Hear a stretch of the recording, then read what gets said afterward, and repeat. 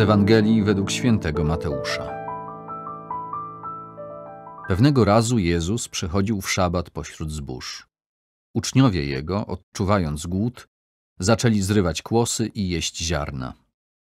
Gdy to ujrzeli faryzeusze, rzekli mu: Oto twoi uczniowie czynią to, czego nie wolno czynić w szabat. A on im odpowiedział: Czy nie czytaliście, co uczynił Dawid, gdy poczuł głód? On i jego towarzysze?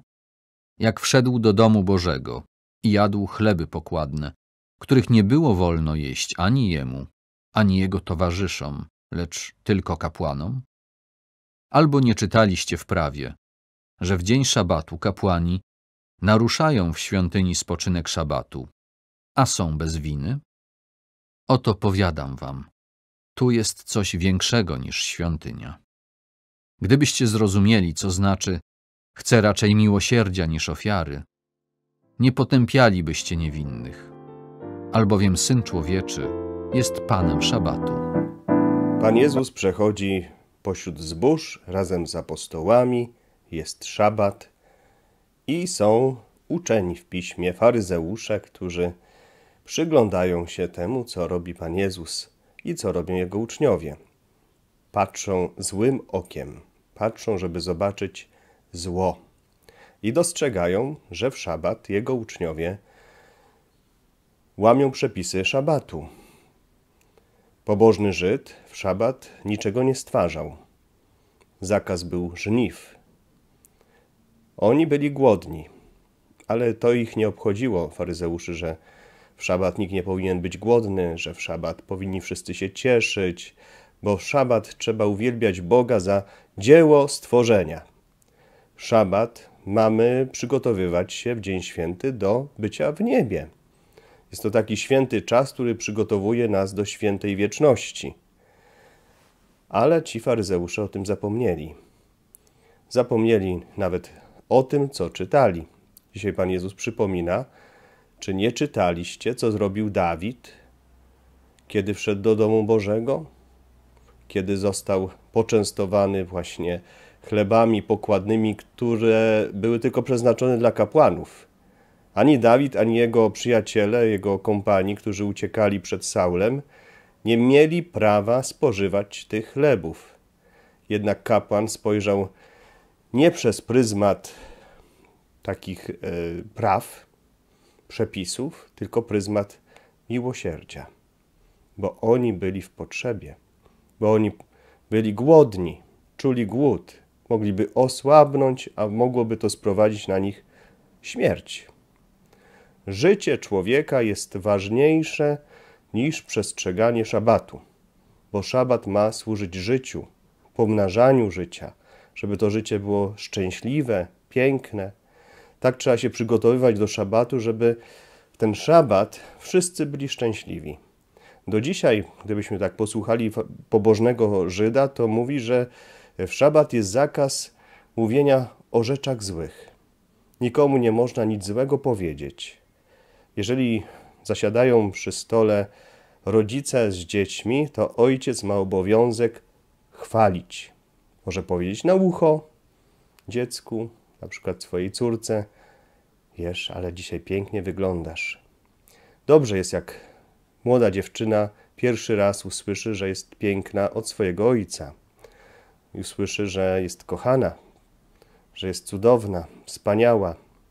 Dobrze jest, jeśli młody chłopak pierwszy raz usłyszy o swojej sile, o swoim męstwie, o swojej odwadze od ojca, że jest dumny z takiego syna.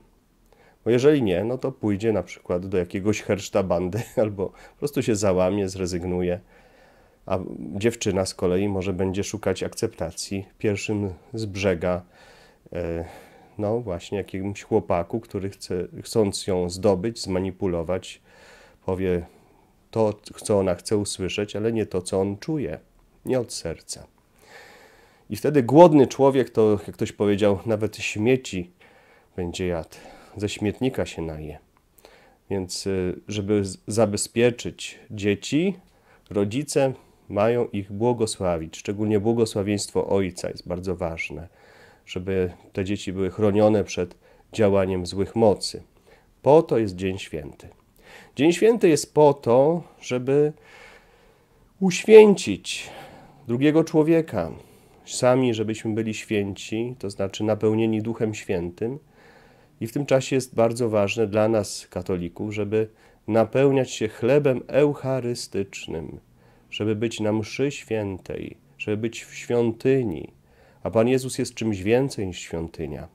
Tutaj też można by powiedzieć, że Pan Jezus objawia swoją godność, że jest świadomy tego, że jest Bogiem, bo tylko Bóg jest ważniejszy od świątyni. I dzisiaj Pan Jezus też mówi o tym, że jest Panem Szabatu. Tylko Bóg jest Panem Szabatu, ponieważ to Bóg go ustanawia. I dzisiaj, patrząc na Pana Jezusa, chciejmy zobaczyć Jego bóstwo ukryte, które się ukrywa. Ukrywa na Eucharystii, ukrywa w drugim człowieku, Jego człowieczeństwie, ale też Bóg chce, żebyśmy też napełniali się Jego obecnością. Moi drodzy, wczoraj rozważaliśmy słowa Pana Jezusa, który powiedział: Przyjdźcie do mnie wszyscy, którzy obciążeni, utrudzeni jesteście, a ja was pokrzepię.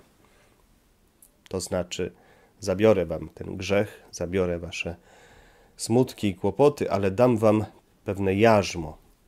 Ktoś może powiedzieć: Po co mi ta belka? Po co dźwigać belkę, kiedy jestem obciążony? A jednak, żeby znaleźć ukojenie. Podobno ornitolodzy znaleźli taki gatunek ptaczka, małego ptaszka, który, żeby przelecieć przez morze, bierze ze sobą jakąś gałązkę, gałązkę, która, którą trzyma w dziobie. Jeszcze to jest obciążenie dla niego.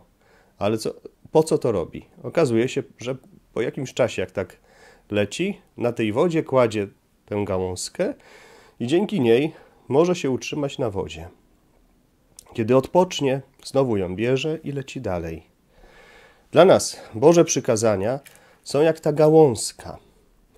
Gałązka, która pozwala nam się unosić na tej wodzie, na wodzie naszego życia, żebyśmy nie utonęli, nie utonęli w naszych kłopotach, troskach, żebyśmy mieli rzeczywiście ten Boży pokój w sobie.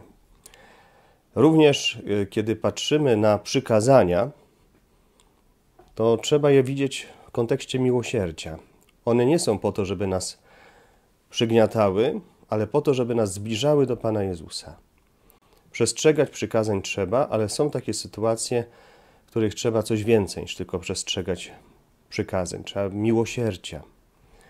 Żeby to zrozumieć, potrzeba mieć ducha Bożego, który pozwala rozpoznać daną sytuację. Przykazania nie mogą być obciążeniem, ponieważ przykazania, jeżeli są napełnione Bożą miłością, to sprawiają, że zaczynamy żyć zgodnie z naszą naturą. W naszej naturze jest zawarta y, rzeczywistość czynienia dobra. Kiedy czynimy coś złego, działamy wbrew sobie, niszczymy naszą naturę. Moi drodzy, te przykazania trzeba patrzeć przez nie przez pryzmat Bożego miłosierdzia. Ważne jest, żeby je wypełniać, ale je wypełniać nie tylko w stosunku do litery, ale przede wszystkim w stosunku do samego Boga, żeby nie czynić to dla przykazań, na takiej zasadzie, czy był tu grzech, czy nie było tu grzechu, ale na zasadzie, czy Chrystus jest y, zadowolony czy Chrystus może takim moim życiem się pochwalić, czy też nie? Czy Chrystusowi takie moje postępowanie podoba się, czy też się nie podoba? Tym wyznacznikiem tego, jak należy przestrzegać przykazanie, jest sam Chrystus. Przyjmijmy Boże błogosławieństwo. Pan z Wami. Niech Was błogosławi i strzeże Bóg Wszechmogący, Ojciec i Syn i Duch Święty. Niech będzie pochwalony Jezus Chrystus.